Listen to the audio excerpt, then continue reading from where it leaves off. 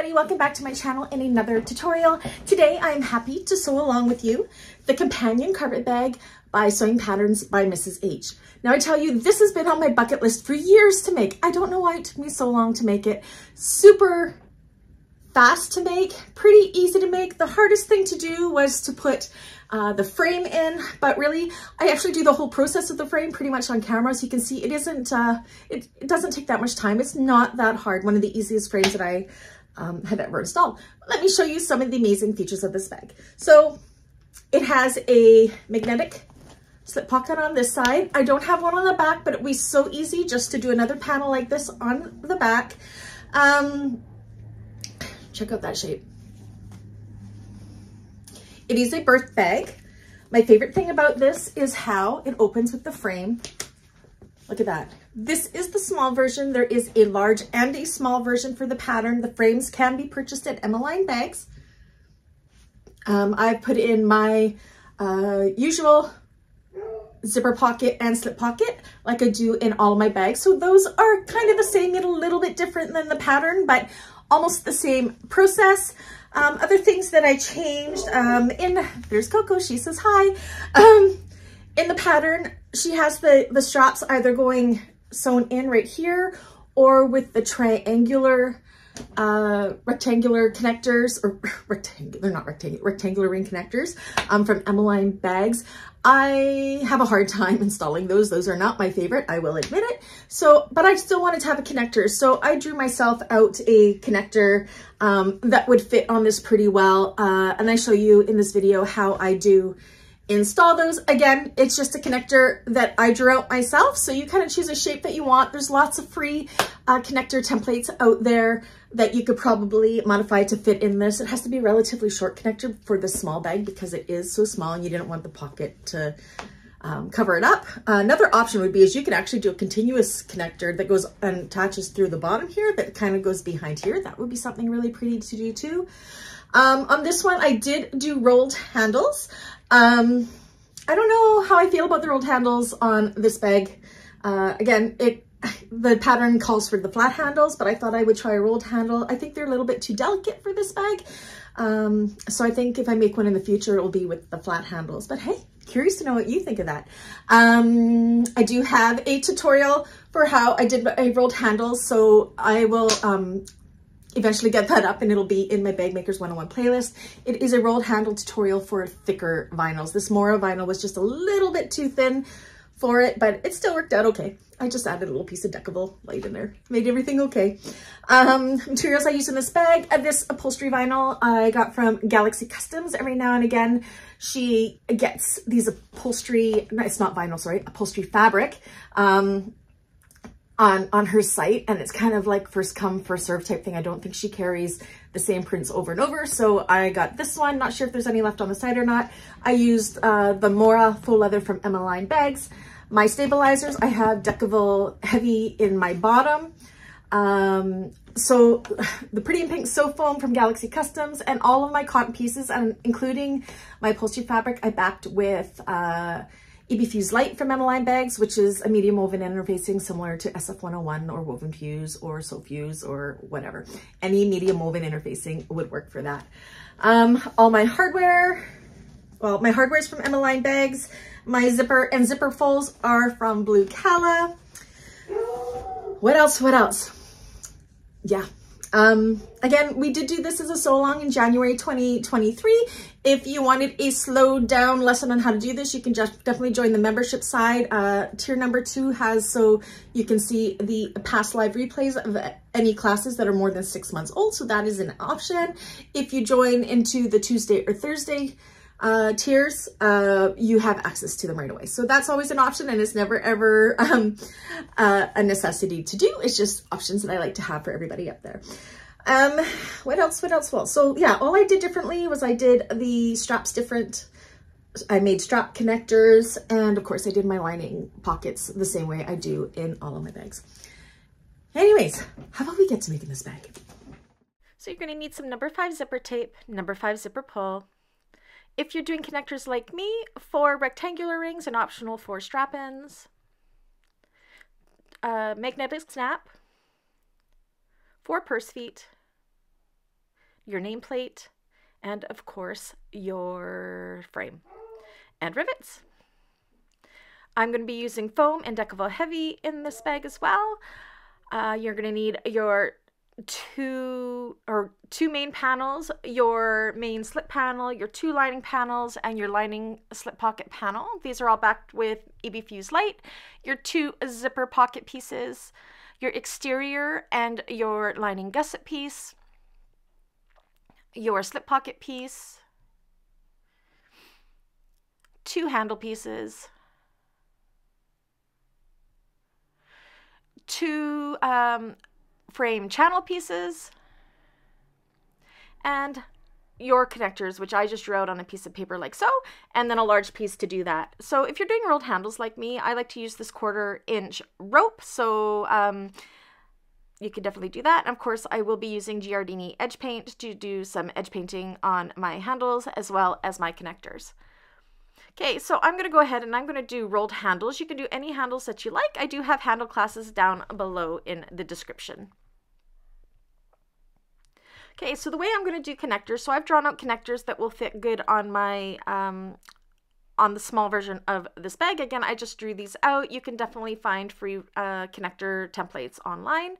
So the four that I have cut out, I'm putting some double-sided tape onto the back side. Again, you can use some glue for this if you prefer. Then we're going to stick this wrong size together on that, um, that scrap piece that we cut out to make these connectors. This just helps make it so we can cut them nice and even to one another. So what we're going to do now is we are going to top stitch an eighth of an inch away from the edges of each of those connectors all the way around.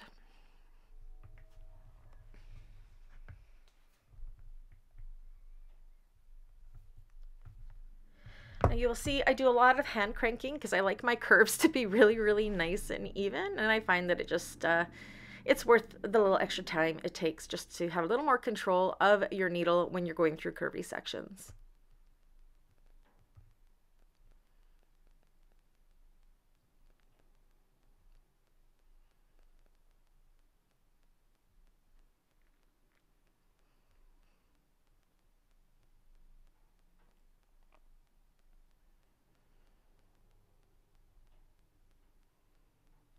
So that's one done. Go ahead and do the same with the other three.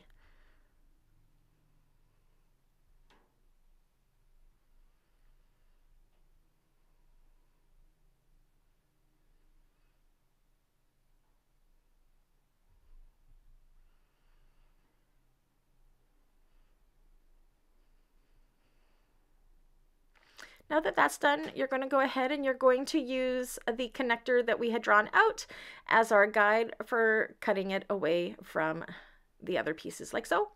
This gives us a really nice even edge to go ahead and do our edge painting on.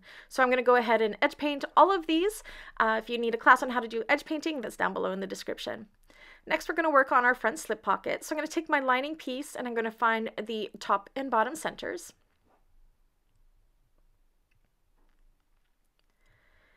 And I always like to just double check that they are definitely centered. So I'm going to take my ruler, and make sure that my snip is accurate, which it is. Now we're going to measure down uh, one inch. Again, check the pattern for uh, measurements, depending on if you're doing the large or the small. And we're going to go ahead and install our um, the male side of our magnetic snap right here one inch down from the top centered. Because I'm using cotton, I'm going to use a little bit of fray check just to make sure that my fabric doesn't fray. So go ahead and install that backed with a piece of heavy interfacing. So once that's in, I also like to put a little bit of Gorilla Tape or duct tape over top of the prongs for extra security.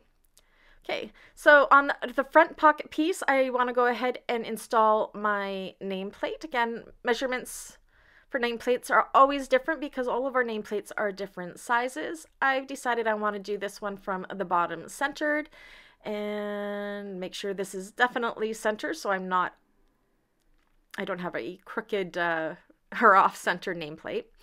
And I'm going to put mine about one and a quarter inches up from the bottom, nice and centered, and install it there. Okay, so that's all installed. Again, I used another piece of Gorilla Tape on the prongs. Now we're going to take the lining in the exterior, match up those center top pieces, and clip that top raw edge together with these right sides together.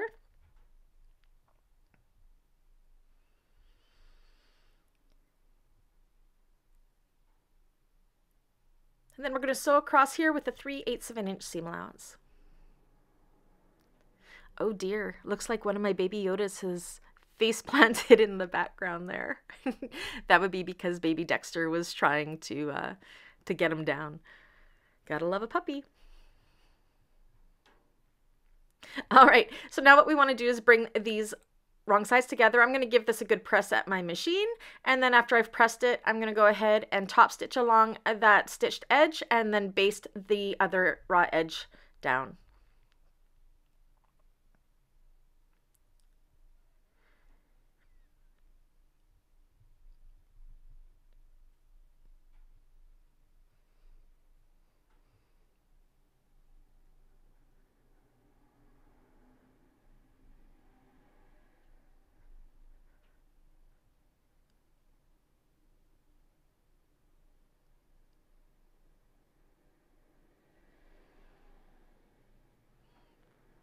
So that's our front pocket done. Next, we want to put it to our front panel, but we need to install our female side of our magnetic snap. So once again, find the top and bottom centers of your front main panel.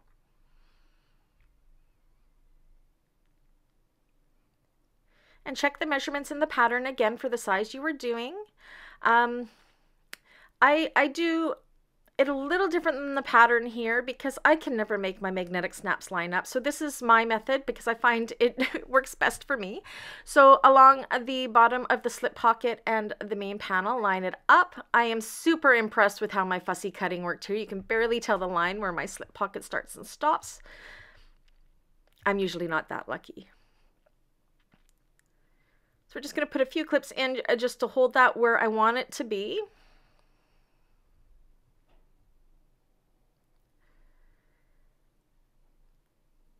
And then with a friction marker, so this washes away, I'm just going to kind of color the nub on my male magnetic snap and push it down on that main panel and it leaves a mark. And then I know that's where I want to install it because it will match up perfectly. Again, you could definitely use the measurements in the pattern. This is just the way it works for me to make sure it matches up good.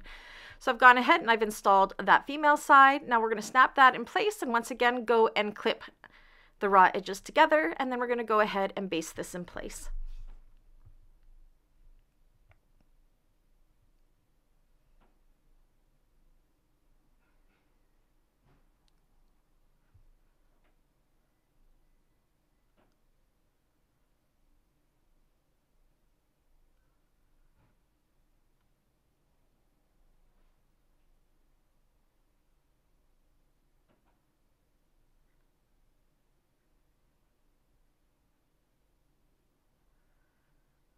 Okay, so now we are going to work on our gusset piece, our bottom and gusset piece. So you want to find the long centers on both sides as well as the two short ends. We want to find the center. So let's do that right away.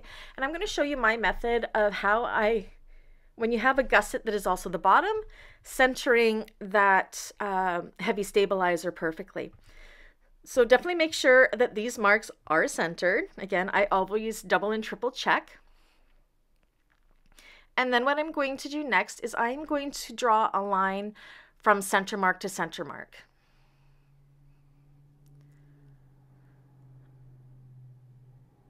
Okay, so from the long centers like so, and then along the long side as well.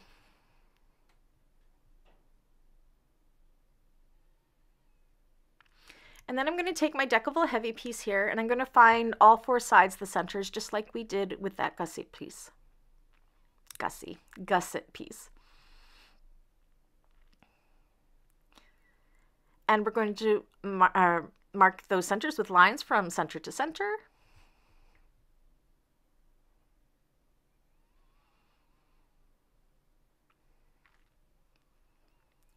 And now all you have to do is line up those lines and you will be perfectly centered and go ahead and fuse that heavy stabilizer on.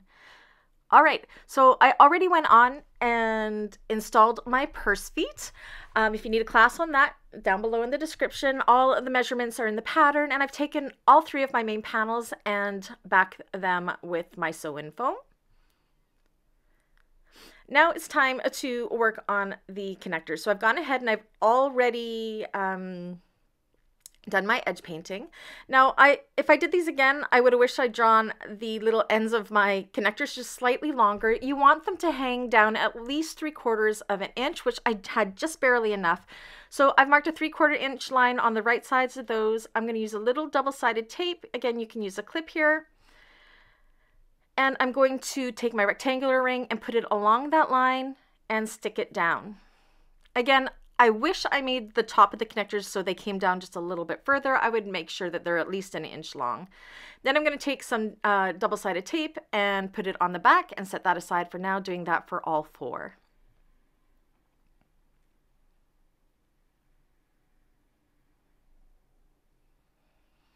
Okay, so now this is you're gonna have to um, kind of eyeball this because um, we want to mark where our um, our stitch lines are going to be. I'm going to measure down, oh, I think that was about 3 eighths of an inch or so. Again, I could have probably went down a little bit further along here if I had a little bit more um, turn to the back. But again, I cut those a little short, but it still worked out. I'm just going to be closer to the hardware than I usually am. So this is our stitch line for when we go to put this on, just to give us a rough guide. And if you're using the triangle rings, definitely go ahead and use the pattern for the placement. I'm going to kind of use the pattern for an idea of where these need to be placed. Again, this will be different for everybody depending what kind of connectors you have drawn out.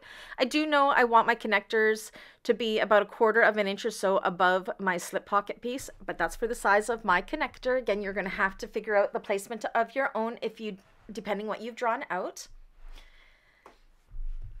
I'm going to take the tape off and I'm going to stick this about where I think it's going to be good. You want to make sure you have at least 3 eighths of an inch seam allowance from the top and from each side because that is where we'll be sewing on the channels and the gussets. So you keep that in mind.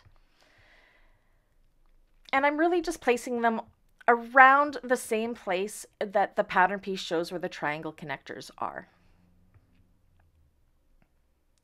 So I'm starting with the front panel. The front panel is good to start with first because you need it to not interfere with that slip pocket. And then we can use this front panel as a guide when we go to put the connectors on the back side. So now what I'm going to do is I'm going to carefully, once these are centered and where I want them to be, I'm going to follow my previous stitch line from when I uh, created my connectors and then go across that line that we drew. I'm going to put it on my left zipper foot again because I am going to be sewing very close to my hardware because my back pieces of my connectors were not as long as I usually make them and I have to make sure that they are caught within um, the stitches so my rectangular rings will not fall off. So this is a good thing. So again, uh, you'll see me doing a lot of hand cranking because I'm following that same line of stitching I had made when I um, had created my connectors.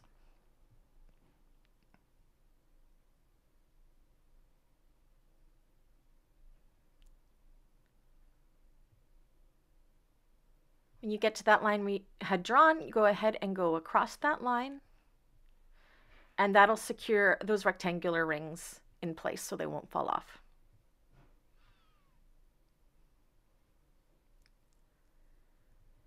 Make sure you use a scrap of vinyl underneath your walking foot to protect the hardware. That walking foot can really eat up your vinyl and hardware if it gets stuck on there. I also am doing the method. I kept my threads long when I started because I didn't want to have that backstitch um, excess of um, thread there. So I pulled my threads long. I've ended in the same thing with my needle down in the same starting stitch, pulling that top thread through and tying those four strands off. Again, you can backstitch if you prefer as well. This is just my preferred method.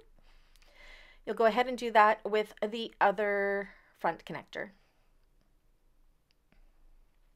Okay, so that's the two front connectors done. So as I said before, I'm going to kind of use because there's really no method to my madness here. I'm going to use my front panel as a guide to where I will be putting them on the back panel because we don't have that slip pocket to kind of know where we're measuring up and everything as a guide there. So I'm just using my chalk to mark where it will be.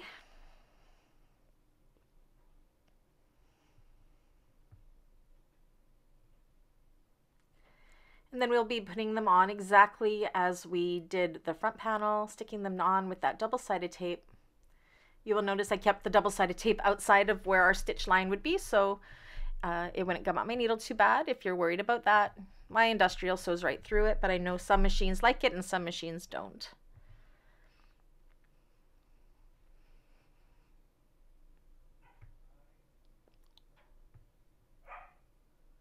Dexter says hi, everybody, if you heard that. Okay, so now it's very important that these line up exactly on both sides. So if you take these and you put it right sides together with your front main panel, you'll be able to see if they are lining up. If they're not, adjust accordingly till they do, and then go ahead and sew those connectors on the back panel on exactly like we did with the front. So that's done. I've gone ahead and I put in a some rivets in there, backed with some Decovil Heavy scraps. And now it's time to attach the gusset. So we have our bottom center of our main panel here. We're going to take our, I'm just trimming off some foam, our gusset piece and match up right sides together that middle section, that middle uh, center piece. Secure with three or four clips. Next, you're going to bring up the side of the gusset Again, I'm just clamping up some uh, foam that's outside. I should have done that before. Lining that up with the top like so. Secure with three or four clips. Do the same with the other side.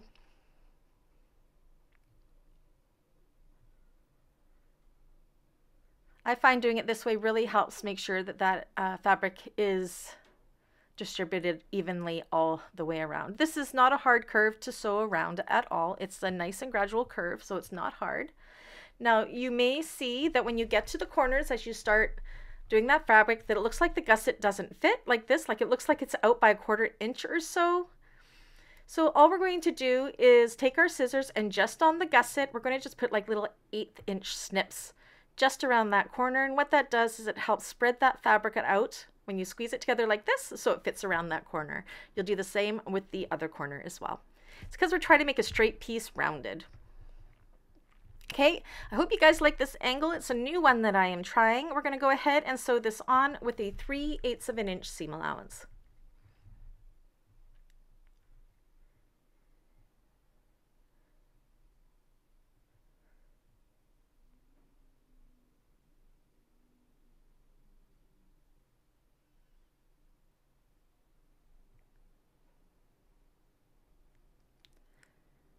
Sometimes when you get to these corners, having a stiletto handy to help hold it in place works. I was looking around at this point. I have no idea where my stiletto is. I really need to clean my studio.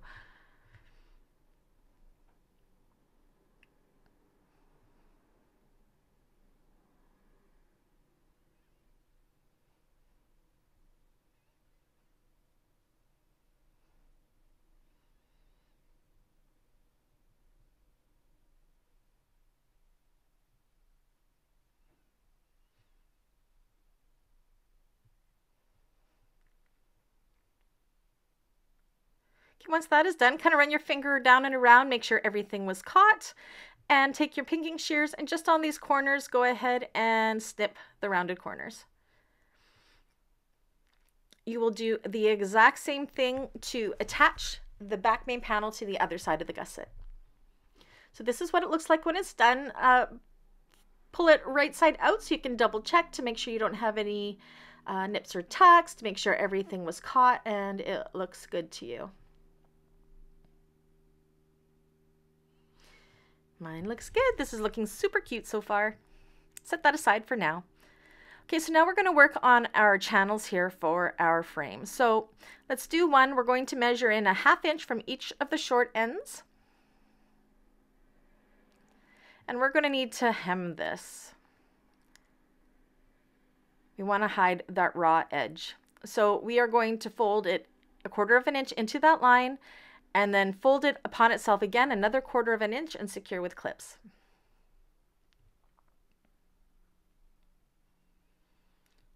You'll do that for all of the sides and then we're going to go ahead and we are going to um, top stitch those in place with a scant quarter of an inch seam allowance. And just make sure you're catching that fold in the back. So the fold should be a quarter of an inch. So if you go just under a quarter of an inch, it will catch it good. And you'll do that for both channel pieces.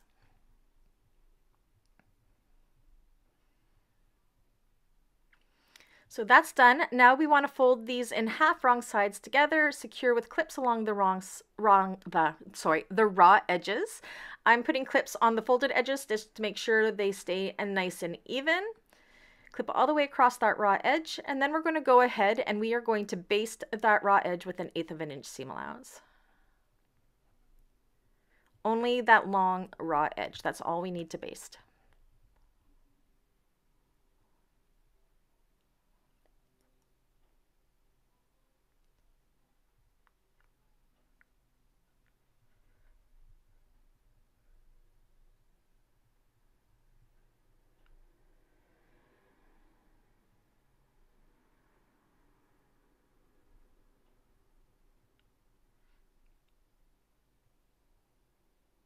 And I'm going to go ahead and chain stitch these just to save myself on some thread.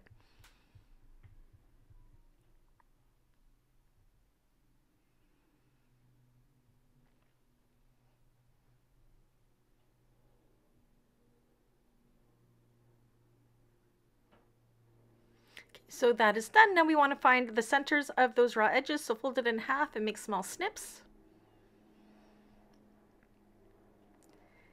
Then we're ready to connect this to the exterior of the bag. I'm just making sure they're centered to one another and they are.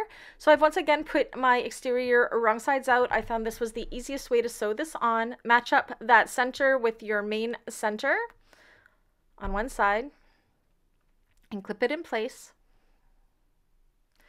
Open up your side seams. It'll just help later on to um, have that bulk evenly distributed along there. And you're going to notice uh, that the short ends of these channels should be approximately half inch from the side center pieces, which mine are.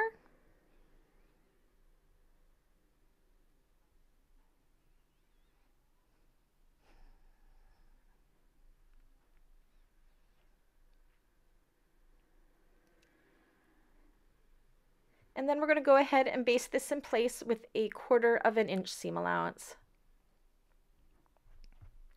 So this is why I turned the bag inside out. I found this was the easiest way to do it. Um, I would have done it the other way if I was on my cylinder arm, but I'm not going to use my cylinder arm uh, for this tutorial. I want to show you how I would do things on just a flatbed this time. So stitch it in place with a quarter of an inch seam allowance. You will do the exact same thing with the other channel on the other side of the bag.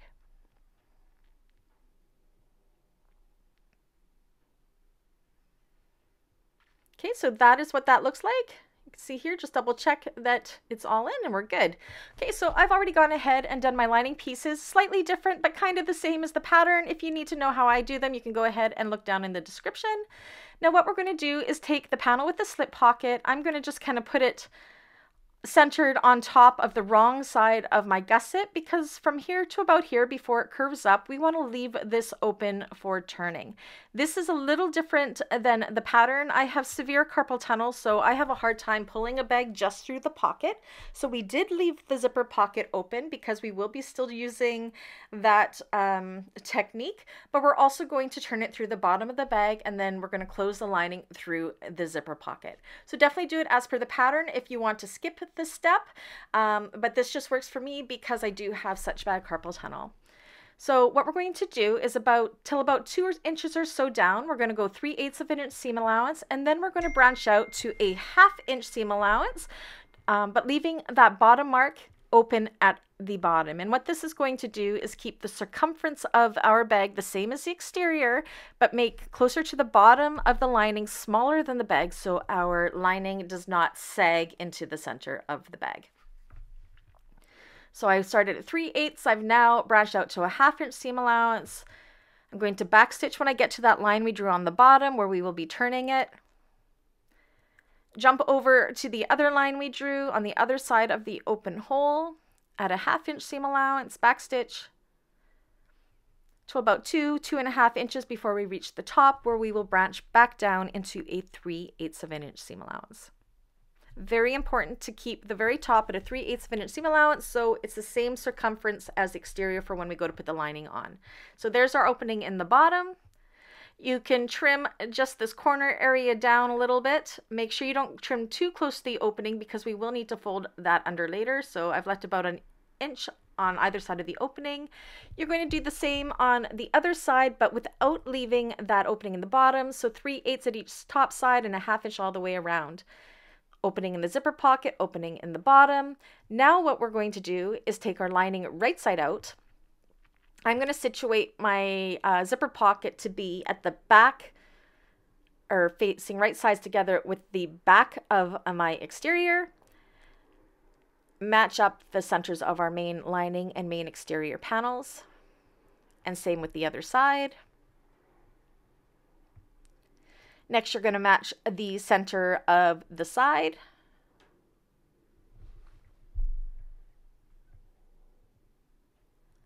Line up the seams here. Make sure you are um, pressing them open. Do the same with the other side and then evenly distribute the fabric around in between all of those clip marks until the lining and the exterior are all clipped together. All right, so now I'm going to take this to my machine. We're going to sew these together with a 3 8 of an inch seam allowance. I'm going to sew it from the inside of the bag like so because this is the easiest to do on a flatbed. If I had, well, if I was using my cylinder arm or if I was using a free arm, I definitely uh, would have done it from the outside of the bag all the way around because you'd have somewhere that the bag could go. But this is exactly how I do it when I do it on my flatbed machine.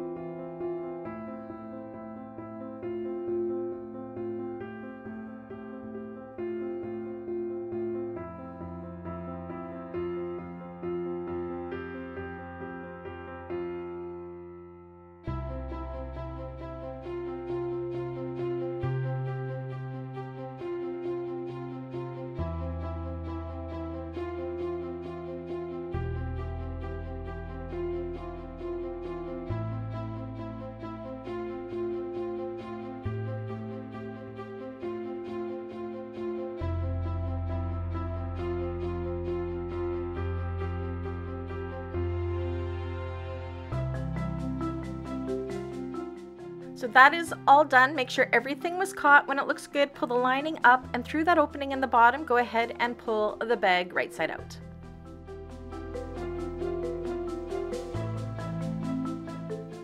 I find if you get the bottom out after you've done that, it comes out pretty easy. Reach in through that hole and press out all of the exterior seams.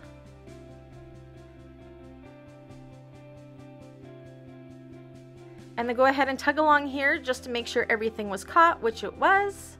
Once it looks good, go ahead and push the lining inside.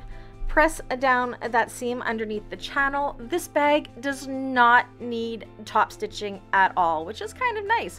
So just make sure you have the lining all pressed down.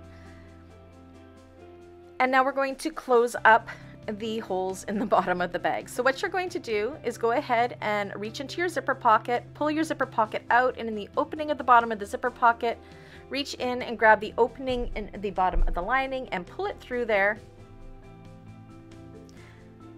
And then match up the center marks on the bottom of those lining panels and clip it all the way across to where we see our stitches start and stop for when we uh, put the gusset onto our lining main panels.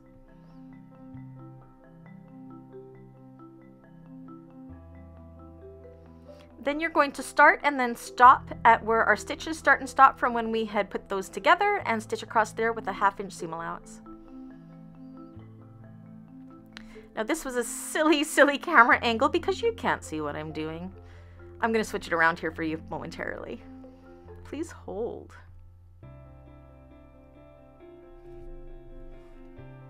There we go. This shows a little better what I'm trying to do. So stitch across there with a half inch seam allowance.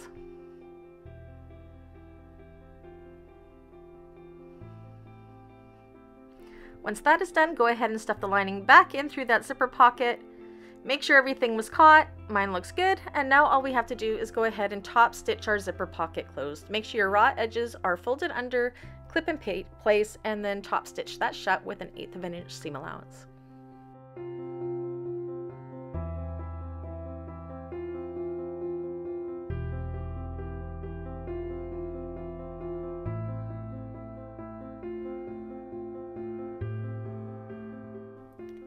So far, so good. Okay, so now we are going to work on this um, this frame. So you want to take out screws from each side. So each one will have one of these longy kind of pointy the the the hinge. One will be on one side and one will be on the other. So there's two screws on each side to take it out. And this is what that looks like. Now I did this twice because the first time I put this in upside down. So I'm going to explain how these hinges work. So if you fold it this way, it only goes so far, but if you fold it down this way, it'll go almost flush with the um, frame. And what we want to make sure it's going the right way is that part that's flushed with the frame, we want that to be setting right up against the side of the panel. If it's sat that way, then it will go in properly. So make sure you have it orientated the right way. I put it in the opposite way and yeah, it doesn't work that way.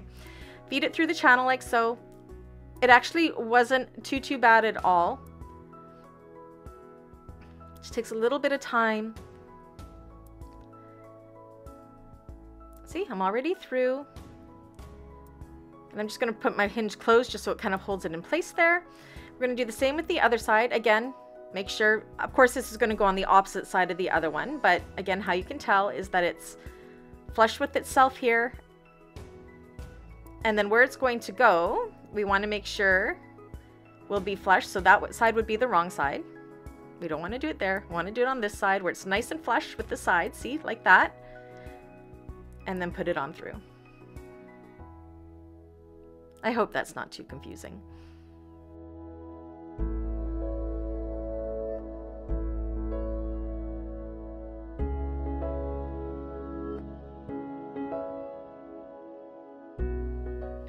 So that's through both sides. And then you want to stick those ends back in and then you're going to re well, first we're going to double check that we did it right because the first time I did it the wrong way and it wouldn't close.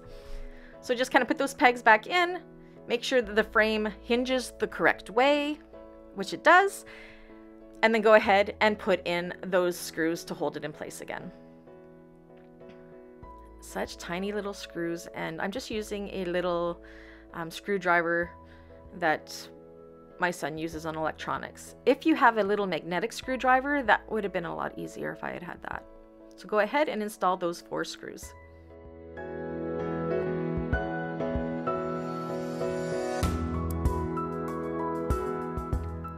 You can also see I have already gone ahead and I put my handles on.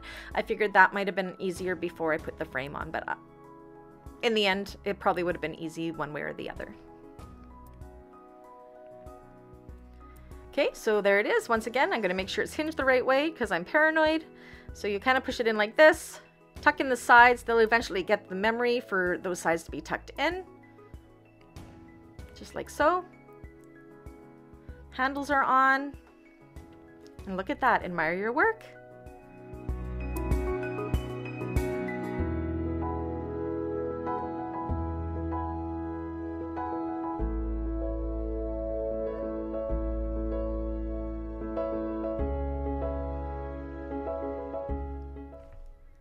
Then we're done.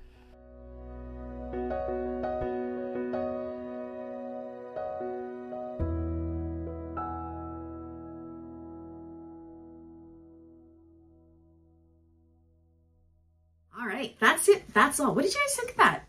It's actually a pretty quick make. It's it's super fun to make, and the hardest part I think was the screws on uh, on the um, the bag frame. But really, That's just because I hate getting there really tediously with little screwdrivers and such. But yeah, anyways, I hope you did like this tutorial. If you did, please make sure you give me a thumbs up. If you haven't already, please do subscribe. Again, if you want to check out any of my classes on the membership side, that's all linked down below. And if you want to support my channel further, you can also buy me a coffee. That's also linked down below. Anyways, until the next one, I'll catch you guys later. Bye.